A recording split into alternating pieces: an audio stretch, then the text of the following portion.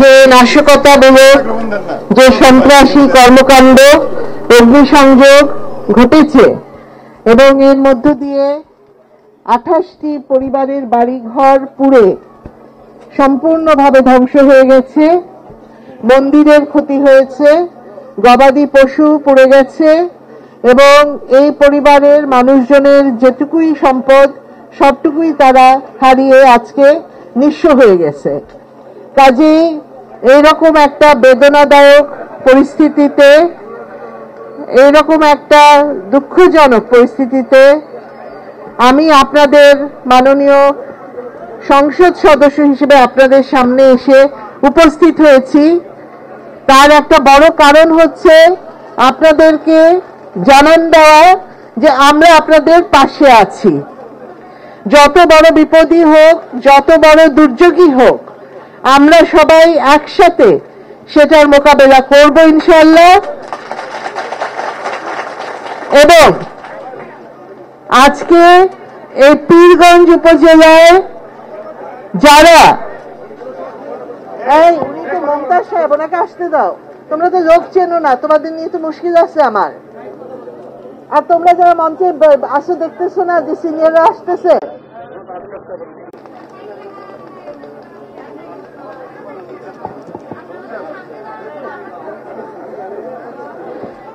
আমার কাছে সবচেয়ে যেটা গুরুত্বপূর্ণ বিষয় যেটা আমার কাছে মনে হয়, যে এই ধরনের একটা নাশকতামূলক সন্ত্রাসী কর্মকাণ্ড, অগ্নিসংযোগ করার মতো সাহস তারা কোথা থেকে পায়? এটা হচ্ছে আমার সবচেয়ে বড় প্রশ্ন। এবং এই বিষয়টির প্রতি আমাদেরকে সবচেয়ে বেশি গুরুত্ব এবং মনোযোগ দিতে হবে। প্রথমত আমাদের যারা প্রশাসনে আছে, তারা সর্বাত্মক চেষ্টা করেছে। সেই রাত সন্ধ্যা থেকে তারা সেই ঘটনাস্থলে উপস্থিত থেকেছে। মাঝিপাড়াকে তারা মোটামুটি সুরক্ষিত রাখতে পেরেছিল সেই ফোর্স দিয়ে এবং পরবর্তীতে রংপুর থেকে পুলিশ সুপার আরও বেশি ফোর্স নিয়ে ঘটনাস্থলে উপস্থিত হয়।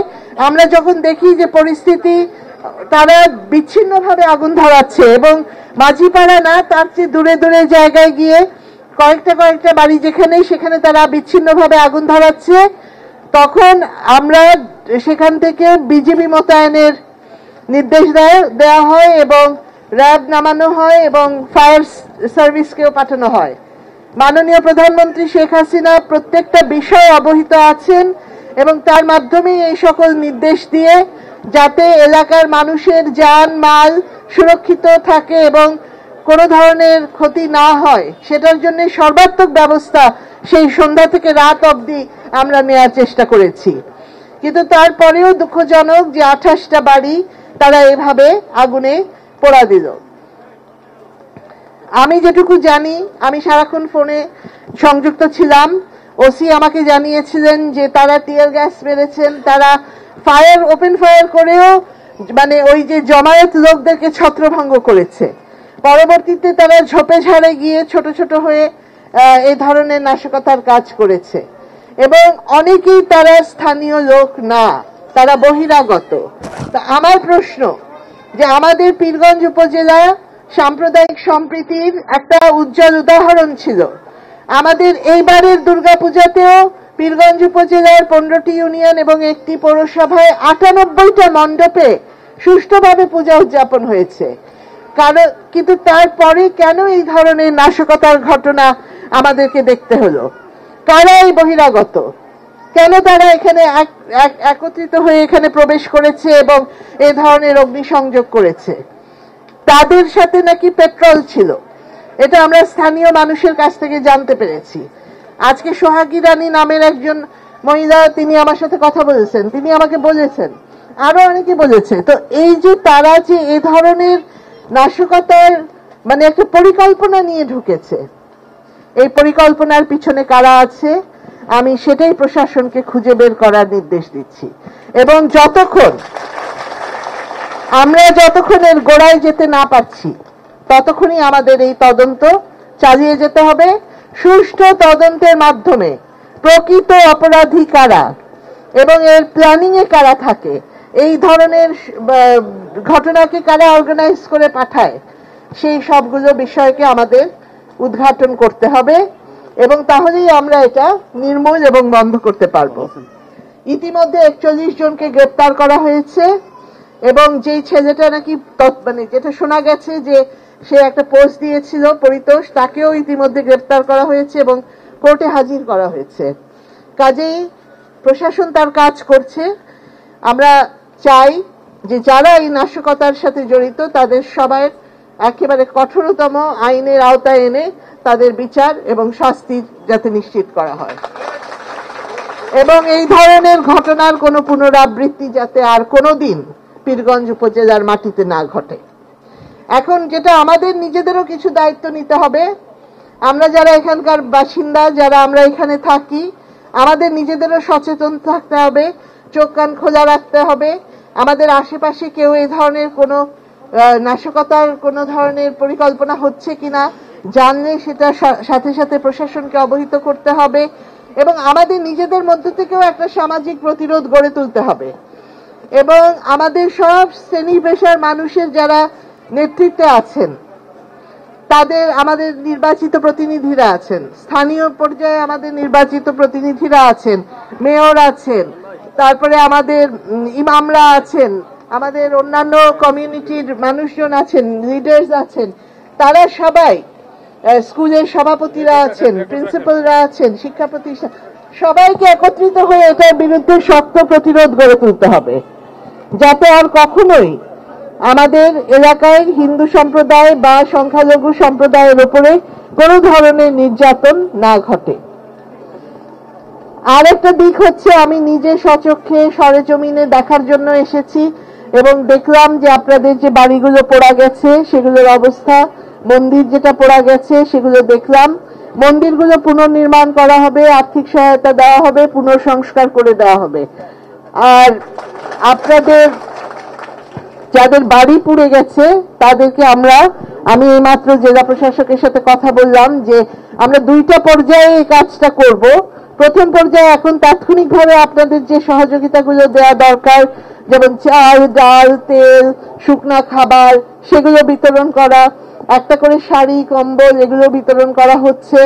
এবং তার পাশাপাশি আপনাদের জন্য আরও যা কিছু যে আপনাদের এনআইডি কার্ডগুলো যাতে আবার নতুন করে করে দেওয়া যায়, কারও শিক্ষা সার্টিফিকেট যদি পুড়ে গিয়ে থাকে, তাহলে সেগুলো আবার কীভাবে বের করে দেওয়া যায়? এই সব সহযোগিতা আমরা প্রশাসন থেকে করব। এবং পরবর্তীতে ধাপে আমরা আপনাদের বাড়িগুলোকে পুনর্নির্মাণ করে দেব। সেটার জন্য তিন বরাদ্দ, টাকার বরাদ্দ দিয়ে একটা পুরা স্কিম নিয়ে একটা পরিকল্পনা নিয়ে সেই আঠাশটি বাড়ি আমরা পুনর্নির্মাণ করে দেব। জেলে ভাইদের যে মৎস্যজীবী ভাইরা তাদের যে ক্ষতি হয়েছে ব্যবসা বাণিজ্যে সেক্ষেত্রেও আমরা আর্থিক অনুদান দিয়ে তাদেরকে সহায়তা করব। আমাদের দুর্যোগ মন্ত্রণালয় থেকে ইতিমধ্যেই তিন লক্ষ টাকা বরাদ্দ এসেছে। তিন এসেছে দশ হাজার বান্ডেল না? একশো বান্ডেল। তারপরে এটা অব্যাহত থাকবে। যা কিছু প্রয়োজন সবকিছুই আমরা নিশ্চিত করে দেব। মাননীয় প্রধানমন্ত্রী শেখ হাসিনা তার তিনি এ ব্যাপারে খুবই সমবেদনা জানিয়েছেন এবং যাতে পুনর্বাসনটা যথাযথভাবে হয় সেটা আমরা তার দিক নির্দেশনা অনুযায়ী বাস্তবায়ন করে দেব।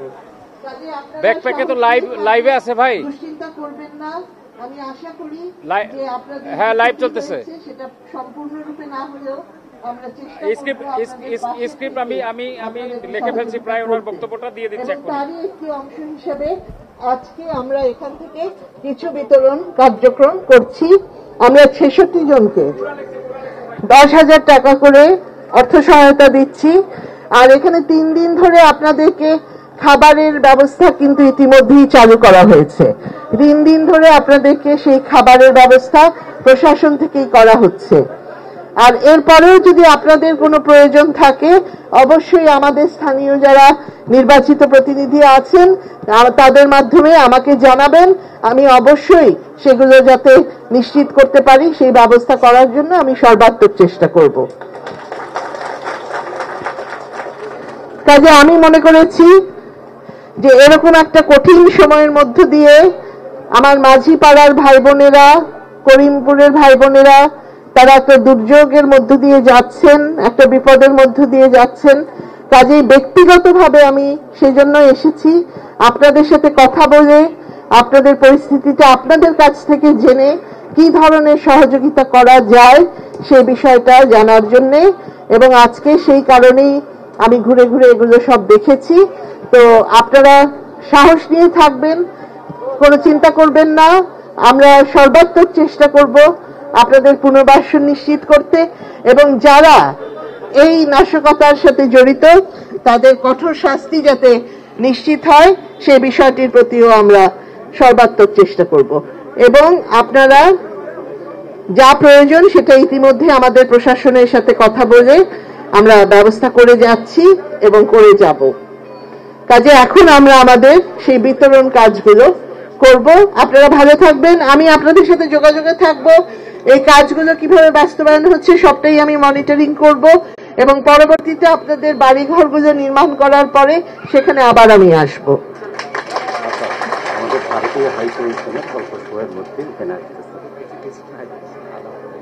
আসো এখানে অনেক মানুষই আমাদের সাথে সমবেদনা জানাতে আমাদেরকে আমাদের এই বিপদে আমাদের সহযোগিতা করতে আমাদের পাশে থাকতে অনেক নেতৃবৃন্দ অনেক সংগঠন তারা আসবে, ক্রমান্বয়ে আসবে। অনেকেই আমাকে ফোন করেছে।